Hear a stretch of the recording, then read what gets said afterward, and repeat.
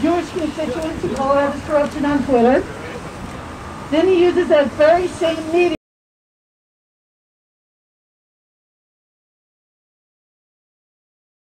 That's right. Instead, he boosts rally river to the sea. From the river to the sea. Palestine will be free. Palestine will be free. Thank you, Brown. Yes. Palestine. It's so important that we resist the urge for us to struggle in solid in in um in isolation. Okay. Right. That's right. So much of the capitalist system requires us to believe in their lies. Right. Right. They want us to believe that we are alone. That's right. But the truth is, we are many and they are few. That's right. That the only way that they can maintain this system is by changing the meaning of words. That's right. Kwame Ture teaches us that Zionism and Judaism are not the same. Yes. That Zionism is a form of imperialism. Yes. That Zionism is born out of violence, of bloodshed. That's right. Same fight, Same struggle, same fight. Gaza and the Bronx unite. Gaza and the Bronx unite. Same struggle, same fight, Same struggle, same fight. Gaza and the Bronx unite. Gaza and the Bronx unite. So today I want to emphasize the direct connections between the struggles waged by the people of the South Bronx with those waged by the people of Gaza and occupied Palestine. It is crucial to recognize the deep-rooted similarities that bind us together and understand that our liberation is intricately tied to theirs. That's right. Shit! Not for war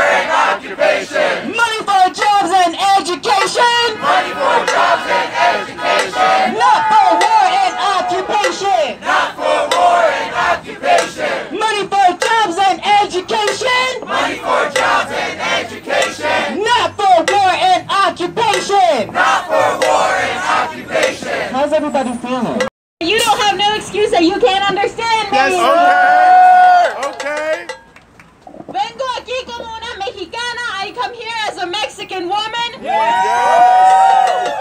Con todos ustedes, with all of you, demanding the liberation of Palestine. All right. Demandando la liberación de Palestina. I want to speak about how our struggle, the struggle of the Latinx people, Yep. Yo quiero hablar co- de las luchas de los latinos, la- las luchas de toda nuestra gente, Mexicans, as Mexicans, as Salvadorians, as Guatemalans, Uh-huh. as all of Latin America. We stand alongside Palestine and Gaza. Yes. I'm gonna leave a few things here, and everybody's gonna pick up like.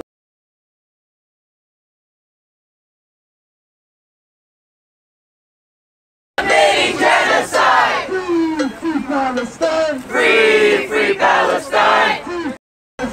Free, free Palestine. Free, free, free Palestine! Free, free, free Palestine. Palestina! Viva, viva Palestina. Viva, viva Palestina! Viva, viva Palestine. Bronx will buy Richie's lies! Bronx will buy Richie's lies. You are funding genocide! That's right. And by the way, our money is also going through AIPAC to fund Richie Torres in his claim that calling for a ceasefire is somehow anti-Semitic. Let's to start with that chant, since as we've mentioned, this is allegedly the district that Richie Torres represents. And he was actually one of the leaders on a letter in Congress that said from the river to the sea was a genocidal chant. All the while he is supporting a genocide that's happening every day in Palestine.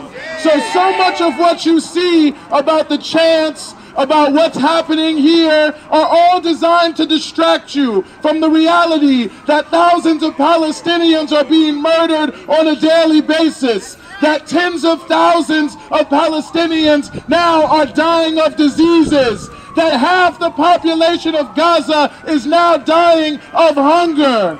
These are the things that they want you to forget. They don't want you to understand that they're trying to take two million people and ethnically cleanse them from their land. Or the fact that 80% of Palestinians in Gaza already were refugees that were ethnically cleansed from other parts of their lands. They don't want you to tell people the truth because they know the more people know, the more they will raise their voices in opposition. Justified. When people are occupied. People are occupied. Free, free Palestine. Free, free Palestine. Free, free, free Palestine. Free, free, free Palestine. Free, free Palestine. Free, free Palestine. Free, free, free Palestine. Free, free Palestine. We will free Palestine We